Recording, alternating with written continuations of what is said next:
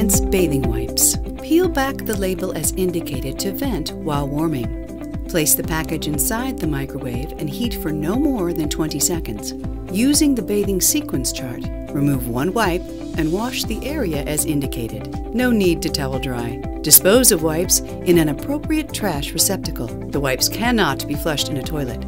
May be used at room temperature one cloth at a time for everyday convenient cleanups. Just use the label to reseal the package.